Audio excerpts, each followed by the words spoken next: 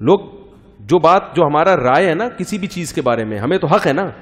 لیکن ہم بہت سی چیزوں میں نہیں بول سکتے۔ ہمیں پتا ہے، بولیں گے تو جو مخالف ہے، وہ اس کو، ابھی دیکھو، میں نے حضرت حسین رضی اللہ تعالیٰ عنہ کے بارے میں یہ بات کی تھی۔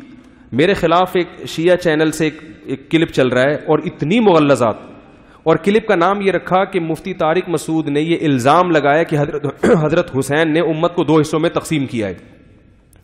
اللہ کی پناہ کہ میں ایک نواسا رسول پہ اتنا بڑا بہتان اور الزام لگاؤں۔ کتنا بڑا جرم ہے یہ کہ میری طرف کس بات کی نسبت کرتی۔ میں نے جو بیان کیا تھا وہ بیان یہ تھا، وہ میں نے پھر کلپ سنا بھی۔ میں نے بیان یہ کیا تھا کہ حضرت حسین رضی اللہ تعالیٰ عنہ جو کربلا کی طرف نکلے، بہت سے صحابہ نے آپ کو اس عمل سے روکا اور بعض حضرات نے آپ کا ساتھ دیا۔ تو ہمارے لیے حضرت حسین بھی قابل احترام اور وہ جمہور صحابہ جو آپ کو منع کر رہے تھے وہ بھی قابل احترام۔ تو ابن تیمیہ رحمہ اللہ تعالیٰ نے یہ بات میں یہ بات لکھی ہے کہ جمہور صحابہ کا موقف ان کی رائے کے مطابق کیا تھا؟ بولو بھائی، صحیح تھا۔ اس کا یہ مطلب نہیں کہ حضرت حسین معذ اللہ غلط کر اشتہادی چیز میں تو اختلاف رائے ہوتا ہے نا؟ بھائی، اختلاف رائے تو یہ تو ہمیشہ سے صحابہ میں بھی ہوتا آیا ہے، آج بھی امت میں ہو رہا ہے۔ تو اختلاف رائے میں وہ فرماتے ہیں کہ ابن تیمیہ فرماتے ہیں کہ اس میں کس کا موقف درست تھا؟ جمہور صحابہ کا۔ اسی طرح وہ یہ کہہ رہے ہیں کہ نبی کے دو نواسے حضرت حسن حسین، اس میں حضرت حسن کا موقف، حضرت حسن نے حضرت معاویہ کے ہاتھ پہ بیت کر لی اور انہوں نے انتقام والا راستہ اختیار نہیں کیا۔ حالانکہ حضرت حسن کی رائے میں، ہماری رائے میں جب حضرت علی کی شہادت ہوئی ہے، تو ہماری رائے میں حضرت حسن خلافت کے زیادہ حقدار تھے۔ لیکن حضرت حسن نے دیکھا کہ بھائی، امت میں کیا ہوگی؟ لڑائی ہوگی تو حضرت فرمایا کوئی بات نہیں۔ تو حضرت حسین کا کردار بھی درست تھا بالکل۔ وہ جس کو صحیح سمجھتے تھے، انہوں نے اس پہ گردن کٹا دی، اپنی جان دے دی۔ جمہور صحابہ کا موقف بھی کیا تھا؟ درست تھا۔ ابن تیمیہ کی رائے میں وہ فرماتے ہیں کہ زیادہ اسواب اور زیادہ بہتر کس کی رائے تھی؟ جمہور صحابہ کی رائے تھی۔ کیوں؟ اور وہ بھی حضرت حسین سے محبت میں کہا ہے انہوں نے کہ فرماتے ہیں کہ اگر حضرت حسین جمہور صحابہ کی رائے کو فالو کرتے تو نواز رسول کی زندگی بچ جاتی تو یہ محبت میں کہہ رہے ہیں ابن تیمیہ، یہ نفرت میں نہیں کہہ رہے۔ لیکن چونکہ اختلاف رائے ہو سکتا ہے، تو اگر کوئی یہ کہتا ہے، نہیں، حضرت حسین کا موقف صحیح تھا، تو وہ بھی ٹھیک ہے۔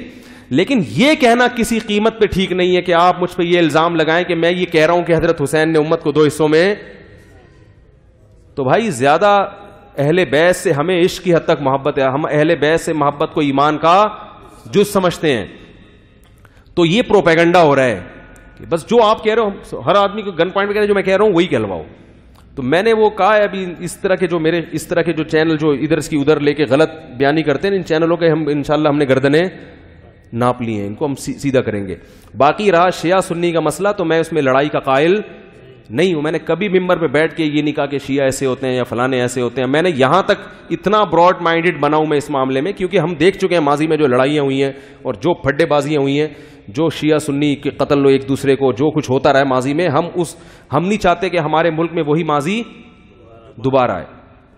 تو اس لیے بھائی کوئی ایسی بات نہ کرو جس سے فرقواریت کو فروغ دو۔ اگر آپ کو رائے سے حضرت حسین رضی اللہ تعالی عنہ کربلا کے میدان میں جو آپ کی گردن سر سے جدا ہوئی ہے، ہم حضرت حسین کو اگر امام ابن تیمیہ کی رائے میں خطا ہوئی بھی ہے تو یہ اشتہادی خطا ہے، جس پہ اللہ نے وعدہ کیا کہ اجر ملتا ہے۔ اور ہم، میں تو یہ بھی نہیں کہتا کہ میں یہ کہتا ہوں کہ وہ میری کیا اوقات ہے بھائی؟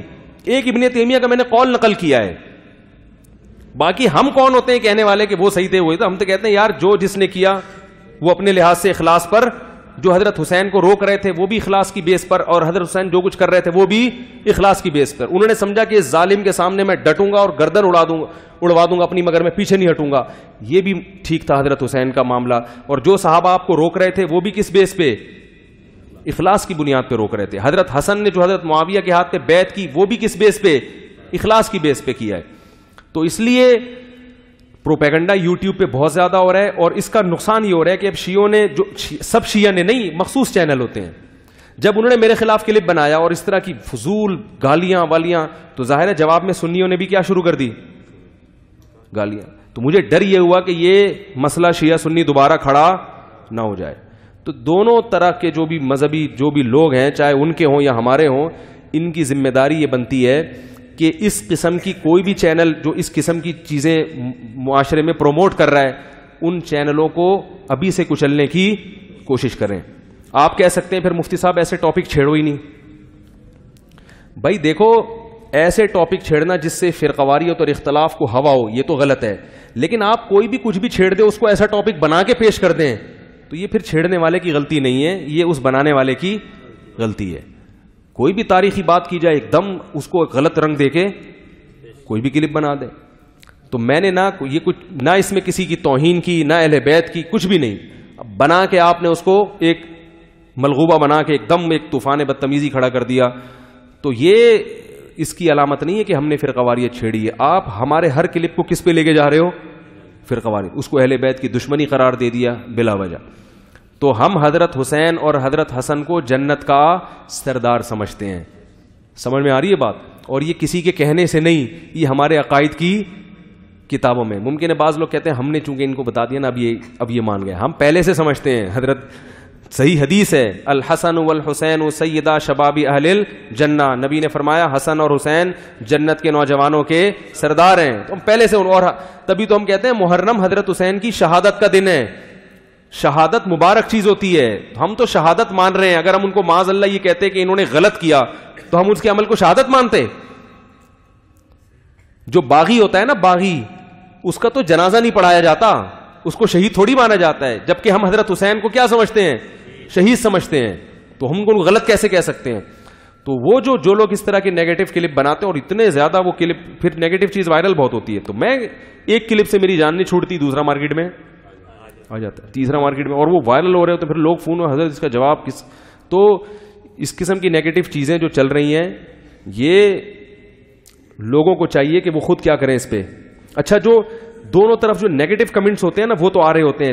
جو معتدل لوگ ہیں، وہ کمنٹس کرتے ہی نہیں۔ ایسے موقع پر لوگوں کی ذمہ داری بنتی ہے کہ وہ کہیں بھائی، مفتی صاحب نے یہ بات کی ہے، اس میں کہاں توہین ہو رہی ہے؟ اس میں کہاں یہ وہ ان کو شہید بھی مان رہے ہیں؟